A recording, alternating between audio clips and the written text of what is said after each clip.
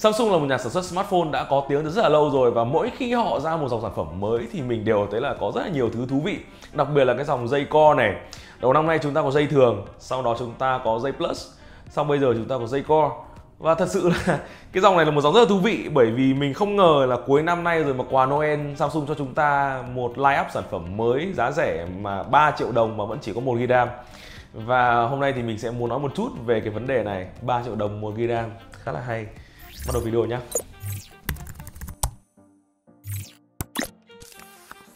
Không chỉ là dây 2 co và dây 4 co cũng đều chỉ có 1 GB mà thôi.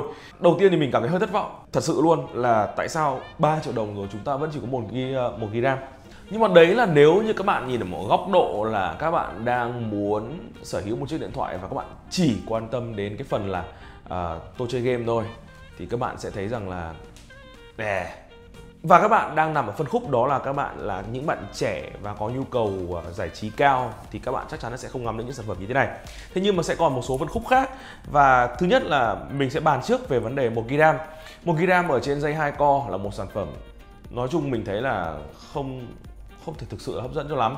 Nếu như các bạn dựa vào tiền đề là dây hai co và các bạn update lên là dây 4 co, thì các bạn sẽ thấy rằng là nó ổn hơn khá nhiều màn hình chỉ có quad HD thôi các bạn lên màn hình HD các bạn màn hình từ 16:9 các bạn lên màn hình 18:9 các bạn từ cái màn hình uh, gọi là chỉ có 5,5 inch thì phải mình nhớ không nhầm lắm thì lên màn hình 6 inch. Khá nhiều thứ các bạn có thể lên. Và camera thì cũng không hề tệ 16 megapixel mình thấy cũng không tệ lắm nếu như các bạn nhìn từ khía cạnh là update từ dây 2 co lên dây 4 co thì mình nghĩ rằng là chênh lệch khoảng chưa đến 1 triệu đồng. Các bạn update được rất là nhiều thứ thì mình thấy rằng thứ nhất, nhìn ở góc độ đó thì dây 4 co là một sản phẩm. Theo mình thấy đây mới là sản phẩm tập trung vào bán của Samsung, chứ không phải dây 2 co. Dây 2 co mình theo cảm tưởng của mình mình cảm giác rằng đây chỉ là một sản phẩm để tiền đề để kích cầu người dùng nên mua dây 4 co bỏ thêm một chút tiền nhưng các bạn sẽ có một cái trải nghiệm tốt hơn có rất nhiều thứ được cải tiến ở trên dây 4 co cái vấn đề ở thứ hai đó là một GB nhưng mà chúng ta cần phải nhìn lại là chiếc điện thoại này cả hai luôn đang chạy Android Go chứ không phải Android thường. Từ tháng 5 và tháng 7 năm nay chúng ta chào đón sự ra mắt của chiếc Nokia 2.1, một sản phẩm chạy Android Go của Nokia với mức giá khoảng 2 triệu đồng. Các bạn nghĩ như thế, cũng một GB RAM 2 triệu đồng. Và bây giờ chúng ta có Samsung. Chúng ta sẽ có một tỷ lệ màn hình nói chung là cũng khá là ngon. Chúng ta có những cái tính năng tích hợp của Samsung các bạn cũng sẽ có một cái giao diện tùy biến mới của Samsung. Nó khá là ngon chứ đâu phải là tệ đâu. Nếu mà xét về Nokia thì mình thấy rằng là dây 4 Core cũng có những cái điểm gọi là nổi trội hơn so với sản phẩm đó. Thế nhưng mà nếu như ở phân khúc này thì liệu các bạn có chọn một chiếc điện thoại chạy Android Go hay không? Mình rất là khó nghĩ. Bởi vì nếu như mình thì mình thường sẽ chọn một sản phẩm Android thường. Còn không biết là các bạn có sẽ chọn một sản phẩm Android Go ở trong phân khúc khoảng 3 triệu đồng hay không? Và với một GB như thế này thì thật sự là nếu như các bạn chơi game nó quá khó. Vậy thì cái sản phẩm này, theo mình thấy, vẫn là một bài toán cũ của Samsung. Đó là họ lựa chọn đánh vào phân khúc người dùng chỉ có những yêu cầu cơ bản. Nếu như ở dưới phân khúc này, thật sự mình thấy Samsung không còn một sản phẩm nào khác, Ngoại trừ những chiếc máy ờ, feature phone.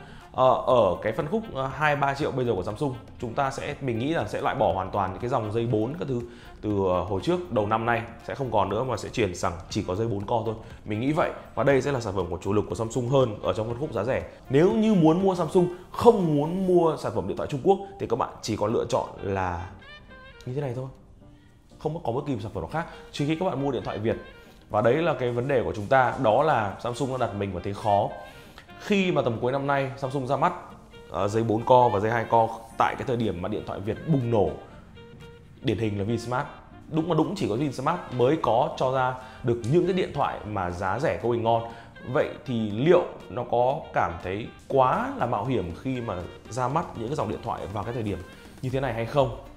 Nếu là mình bản thân mình thì mình nghĩ rằng mình mà là Samsung thì mình sẽ lùi lại hoặc mình đẩy tiến nhanh hơn cái tốc độ xúc tiến của dây 4 co. Nhưng theo mình nghĩ rằng là Samsung cũng khá là bất ngờ với Vsmart cho nên là buộc phải ra mắt trong thời điểm như thế này chứ không thể đợi muộn hơn nữa đợi muộn hơn nữa thì mà ra mắt thì có lẽ là sẽ không thể ra mắt được hai uh, mẫu điện thoại này khi mà Vinsmart đổ quá nhiều sản phẩm với mức giá cực kỳ ngon.